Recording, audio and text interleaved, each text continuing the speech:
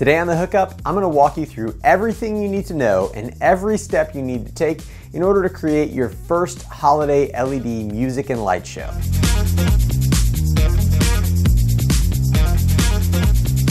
Holiday light shows aren't exactly new, but they used to require so much technical know-how that they were only attempted by electronics wizards. Fast forward to 2019 and the process has been simplified and the options and capabilities expanded to the point where even a novice can put together an impressive light show in under a week. This video is going to cover the absolute basics of holiday light shows to get you started in time for this year's big season. This video came out a bit longer than I was expecting, so feel free to use these timestamps to jump around in the video to the parts that you're interested in. First, let's talk about the stars of the show, the LEDs. In this department, you've got a lot of choices, but here are some generally accepted rules to make informed decisions before you buy. If you're going to be moving your props around and taking them down every year, you should probably use individual LED pixels instead of LED strips. LED strips are great for more permanent setups because they're cheaper per pixel, easier to install, and they can achieve a more cohesive look due to their higher pixel density. But they don't do well with being moved around, and if an LED burns out, it's much more difficult to replace a single LED in a strip than a single LED in a string. The 5 volt versus 12 volt debate has gone on for a long time, but here's the easy answer. If your runs are short, like 50 pixels or less, then 5 volt LEDs will look great and consume significantly less power than their 12 volt counterparts. If you have long runs, then 12 volt strands will allow you to achieve greater brightness without losing color accuracy due to voltage drop. No matter which voltage you choose, if you're going to do very long runs, you will need to inject power, but the 12 volt strands are going to require less. For pixel type, there are tons of options, but 99% of holiday light shows are done with either WS2811 or WS2812B pixels. If you want to know more about the differences between these chips, I made a whole video on it.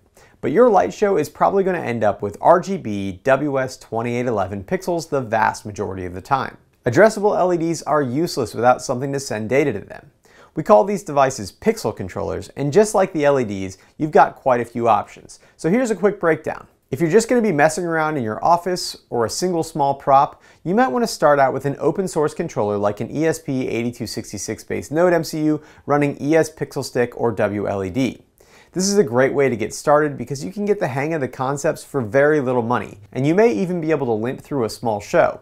But chances are you're going to want to upgrade to a wired controller sooner rather than later. There's quite a bit of competition in the world of wired pixel controllers, and I don't claim to have used every controller type but here's my opinion of some of the most common controllers. If you're looking for super DIY and cheap, you can get a kit for the SanDevices E682 16 port controller for just $109. But when I say kit, I mean kit.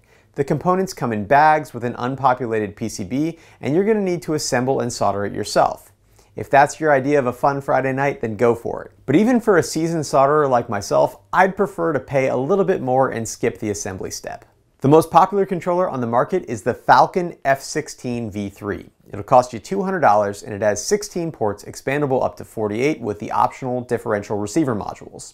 The Falcon has excellent integration with X-Lights and it supports more LEDs per output than any other board. It's a really good choice for someone who wants to dig into the hobby and learn all about sequencing.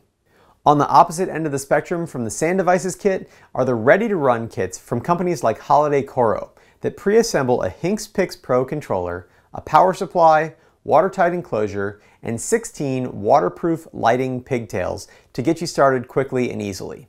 The pre-assembled packages lower the learning curve significantly and allow you to get up and running much quicker. If you're worried about having enough time to set up your lights, or you don't want to do all the wiring yourself, then these pre-assembled kits definitely allow you to exchange a little bit of your money for a lot of your time. I personally have both a Falcon controller and a Hinks Pro. And the great news is that picking one controller type doesn't lock you into a specific ecosystem, because these controllers all speak a common language called E131. Speaking of E131, it's time to get some vocabulary out of the way. And in all honesty, this is the most confusing part of the hobby, so I'm going to try to be as succinct as possible. This pile of lights is called a pixel string or strand. The strand contains 50 pixels. That's these things. Inside each of these pixels is a red LED, green LED, and blue LED, and turning them on at different brightnesses allows a pixel to generate over 16 million unique colors. Because each of these red, green, and blue subpixels are controlled individually, that means that a single pixel actually contains three controllable channels, red, green, and blue. And that means that my 50 pixel strand actually contains 150 E131 channels. In order to be controlled, these channels need to be assigned to something called a universe, which is a terrible name for what it actually is, an addressable group of 512 channels. Because of this channel limit, a medium to large show will include dozens of universes. You don't have to have 512 channels in a universe, that's just the maximum. In fact, you'll see that by default, most universes only have 510 channels defined, not 512. And that's because 512 is not divisible by 3, but 510 is. If you have more than 170 pixels in a run, it's going to require more than one universe to hold them. But that doesn't really matter because these controllers can output multiple universes per port. So to recap, three channels makes a pixel, 170 pixels can fit in a universe, and controllers can output multiple universes per output connection. Now that you're an expert on LEDs, controllers, and E131 terminology, you can start thinking about your show's individual elements or props. Are you going to have LEDs on your windows and roofline, or are you going to stick to ground-based props? Are you going to have one main focus of your show like a megatree, or are you going to have a bunch of small things? If you're just getting into the hobby, I highly recommend that you don't try to do it all at once.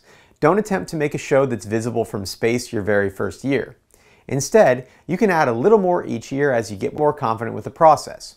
This also helps keep the cost reasonable since you'll just be adding a little bit more each year. My first year, I permanently installed LED strips on my roofline, built an LED wreath out of PEX tubing, and made some simple animations using sheet microcontrollers. Last year, I made PVC frames for my doors and windows to be able to easily put up and take down my seasonal lights, and I sequenced my first LED light show in X-Lights. This year, in honor of YouTube's Team Trees initiative, I'm going to be adding a few mini trees and a 13-foot mega tree to my show using the kits from Holiday Coro. I've also made a deal with Holiday Coro to donate my commission to the Team Trees initiative here on YouTube. So if you use the links down in the description, you'll be helping plant real trees as well as electronic ones.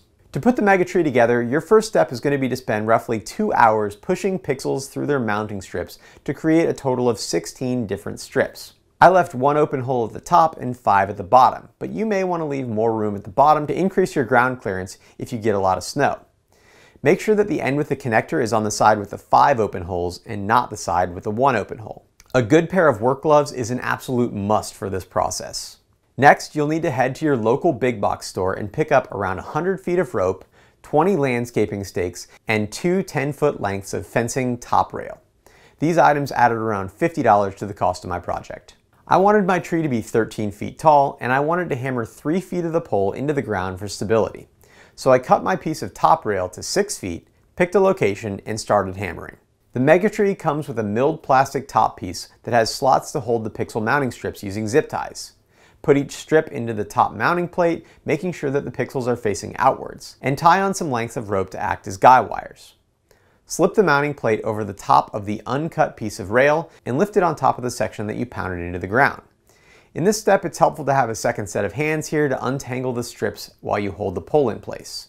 On the bottom of each strip, there's a strain relief piece that gets attached by looping the strip around and securing it with a few zip ties.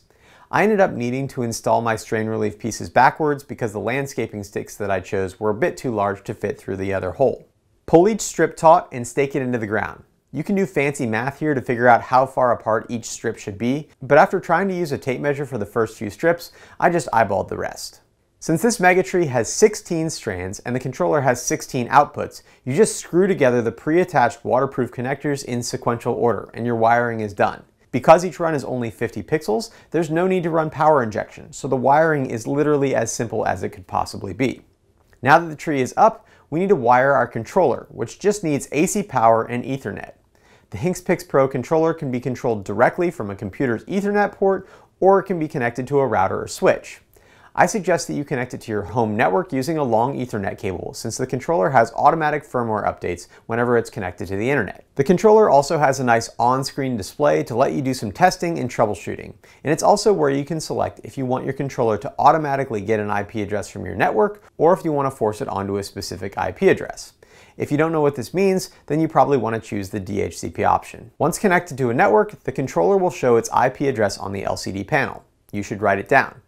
If you absolutely can't wait, you can also use the controller to make your Megatree light up for the first time. But we're pretty much ready to do that remotely, so just hang tight. Start to finish, the construction of this Megatree took me just over 4 hours. And when I decided I was going to make a Megatree, I was expecting more like 15 hours of work. So being ready to sequence so soon was a very welcome surprise.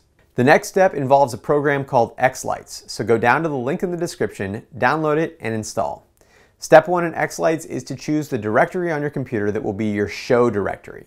This is really important, so make sure that you remember where you put it. Next, you need to add your controller. So in the Setup tab, click Add E131, then select Unicast and type the IP address of your controller. If this is your first prop, you can start at Universe 1, but once your show gets bigger, you'll want to make sure that your props don't have overlapping universes. On the Megatree, you have 16 strands of 50 pixels connected to 16 different outputs. So for number of universes, you'll put 16, and since 50 pixels makes up 150 channels, you'll put 150 as the last channel. Press OK, and then press Save Setup. Next, we just need to double check the output settings on the controller. If you ordered the standard Megatree package from Holiday Coro, those settings should be pre-populated. But if you ordered an extra expansion board, they may be different. So head over to the IP address of your controller and select E131 ArtNet. On this screen, you'll confirm that your settings reflect what we did in X-Lights. So in this case, universes 1 through 16, 150 channels per universe. You'll see that this says that it's going to output from controller start channel 1. So we need to make sure that start channel 1 is mapped to the correct output. So click on Output Settings, SPI ports, and ensure that the start channel 1 is mapped to the beginning of the first port, and pixel count for each channel is 50. Then just press Auto Calc Start Channel and press Save. To activate your settings, you'll need to go to the Reset menu and press the big red Reset button. At this point, you should be all set up and it's time to test out your lights. So click on Tools and then Test.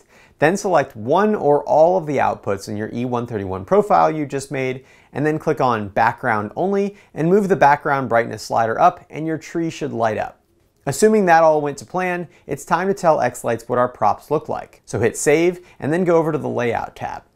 An accurate layout is very important for making your show look its best. So go outside of the position where most people will be watching your show and take a fresh picture. Import the picture you just took as a background and then mess with the brightness and transparency until you can barely see the outline of your house.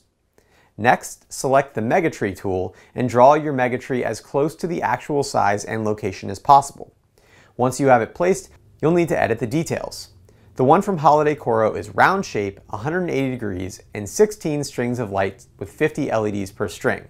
I plugged output 1 of my controller into the bottom left side of my tree, and I want Universe 1 Channel 1 as my starting channel. After pressing save, the prop is ready. Now it's time to sequence. And in my opinion, sequencing is an absolute art form. And for as many hours as I've spent in X-Lights, I still don't feel completely happy with the sequences that I've produced myself. The great news is that much like computer programming, you can get pretty far just borrowing code from other people. X-Lights has a maintained Google Drive of user-shared sequences that you can browse through. Some may be your style and some may not, but the point is that they're there and they're free for you to use. To get started, you're going to download a show.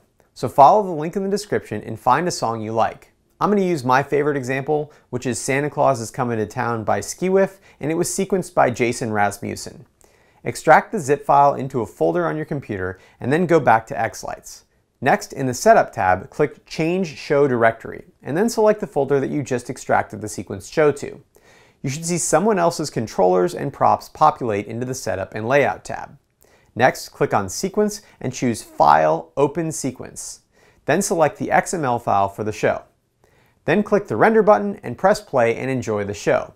But while you're enjoying, pay attention to which props have a lot of effects associated with them on the timeline, and write down the total number of props from this show that you want to use in your own. After you've watched the fantastic show, go to the Setup tab and then change back to your show folder.